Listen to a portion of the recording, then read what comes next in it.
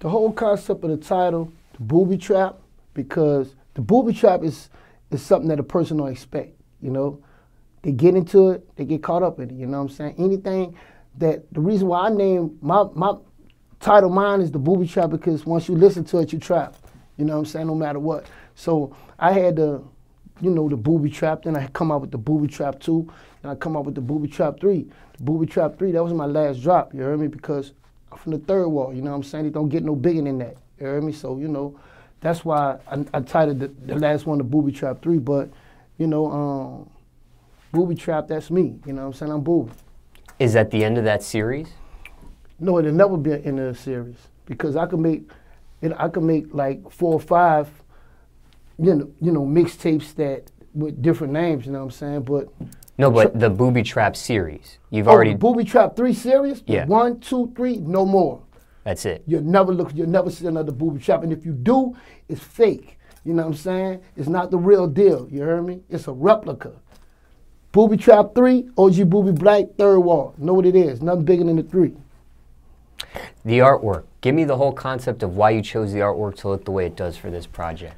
because you know I'm thugging on all my on all my other projects. You know what I'm saying? And you can't always win with doing the same thing. You got to change it up. You know what I'm saying? You got to show people that I'm versatile. You know, you dig? So you know, Jay Z done a he done a um a tape cover. You know, his his album Reasonable Doubt. He had a suit on.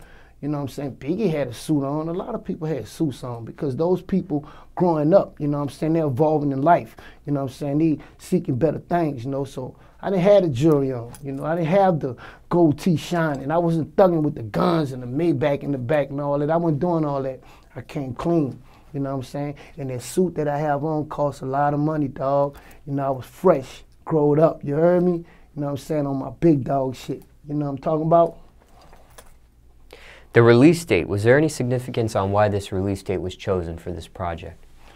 because July is the seventh month. The 17th, you know what I'm saying? 17th, the 17th first days, you know what I'm saying? In 2017, 777, you heard me? You hear 777 in the goddamn casino, you tell me what it do, Smallz. You know what it is. The amount of songs on the project, why that amount for this one? Really, I wanted to put more, you know what I'm saying? But I didn't want to give the I didn't want to give the fans too much. Because when you overdo something, it's like putting too much it's like putting too much sugar on the cake. You're gonna be nasty. You know what I'm saying? You'll get tired, you heard me? So I don't want to give the fans too much. So I just put that amount of songs on there just to give them enough. The track list. Who put this track list together and what was the process behind it? Um I had a person I had an A&R work with Atlantic, you know what I'm saying? And I also had this other A&R, this other um this this Atlantic consultant, you know what I'm saying, named John, and I had the A&R Atlantic Raheem. You know, they put it together and they, you know, they set it up the way they wanted to be. And I also had, you know, um, you know, Gates' wife Dreka. She just told me to give her a bundle of music. You know what I'm saying? So what I did, I gave her a bundle. You know, I didn't give her five, six songs. I gave her a bundle like 36 songs. You know, so when it comes to that, I let them do the do the business deal of that. You know what I'm saying? And that's the way it came out. They took out those songs, the ones that they liked, and they put it together. You know what I'm saying? It came out nice. Okay, uh, explain the flow, if there is one, on the sequence or the arrangement of the project, and if so, how it rides from beginning to end. Yeah, basically Boobie Trap 3, you know what I'm saying? It's, it's, it's, more of a laid back, it's more of a laid back, you know what I'm saying, thing when you first listen to it. You're not gonna skip no song. You know, I'm gonna hit you from the beginning, you know what I'm saying, kicking in the door, coming through with that gangster shit, hard flow. You know, then I, you know, I, I, I level off and I get back and I, you know, I, I let y'all mellow out and I give y'all some laid back shit, you know, some strip club shit, some club shit, you know what I'm saying? Then I come back with that raw shit again, you know what I'm saying? So basically, you know, throughout the whole album, it's just, you know, straight, you know, go, everything on go, you know what I'm saying?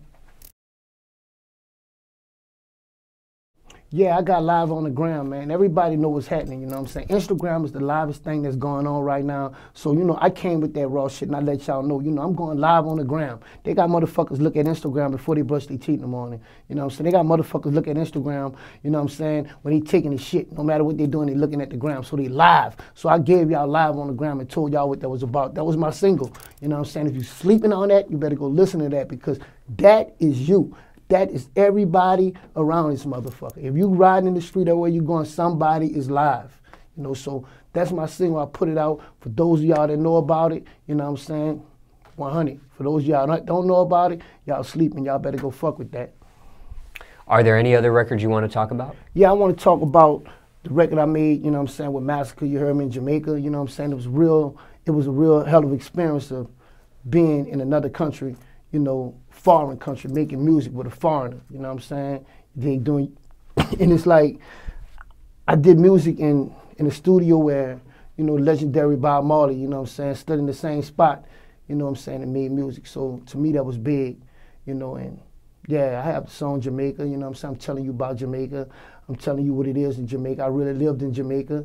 I didn't go to, to Jamaica and was in no goddamn, you know, tourist section in Montego Bay. I was really on the streets, St. Catherine, you know, Bog Walk, you know what I'm saying? I was really on the streets of Jamaica, you know, and I was in that motherfucker. So yeah, that song right there, you know, Jamaica is, is real, it's true, you know what I'm saying? It's raw. You know, I fuck with it. And if you know about the Boobie Trap 3, you should fuck with it too. What's Bob Marley's studio like? Bob Marley's studio, it's like the it's like raw in there, you know what I'm saying? You can't go in there and just, you know, can't know anybody just walk up to there. You can't say, well, I want to go to Tuff Gong and I want to, I want to make a, a, a, feature with somebody. You have to know somebody. You have to be connected with something, somebody over there. You know, you just don't walk in there. You know what I'm saying? Everything there, you know what I'm saying, is respected. You heard me? You can't go in there, you know, cursing, you know, rest in peace, Bob Marley. They don't do that. His soul's still alive in there and you feel it. You know what I'm saying? They respect you when you're there. You know, they show you love, you know. So it was it was a hell of an experience for me just to be in the presence of that, you know what I'm saying? Is the equipment different in that studio than maybe a studio in nah, Atlanta or nah, LA? Nah. Nah, they nah everything. Them Jamaicans got this shit on deck. You heard me? Them Jamaicans, yeah, the same shit we got over here, they got it over there. It's that shit better too. They they got this shit together, dog. You know what I'm saying? You don't, you don't think, oh yeah, well we did some old shit Bob Marley. No, fuck no, they shit together. You know what I'm saying? Mm. How many uh, songs you recorded in there? Just that one? Yeah, I recorded just that one song because, like I say, you know, you got to be somebody to go there. Think about it. Jay Z went there. When Jay Z went there, it was the talk of the town. Oh, Jay Z in Jamaica. But OG Boobie Black went there, and it just like I went there, but I was connected. You know what I'm saying? Jay Z wasn't connected. You know, Jay Z, you know, he came over there with his, you know, whatever, but I was connected like real family. You know what I'm saying? Any other records you want to talk about? Yeah, I got the song. It's like a series. It's called Guapo. You know what I'm saying? I'm talking about a dude that got set up. You know what I'm saying? He got set up by a girl. He liked the girls and, you know, he go to the club. He liked the lick. He get drunk. You know what I'm saying? And he brought a bitch home one night and, and the bitch laid up there and set him up. She dropped the location, got some niggas come to the house and, you know, dudes got killed, you know, shot and Guapo got killed. And it was a big turf war, you know, and if a motherfucker know me, they know about that song. For those that don't know me, you know what I'm saying, don't think that that song is, there's no bullshit. You know what I'm saying? That song is the truth. And I have the second sequel where, you know, have the I use the I use the you know the names. I changed the names, you know what I'm saying, to protect the innocent.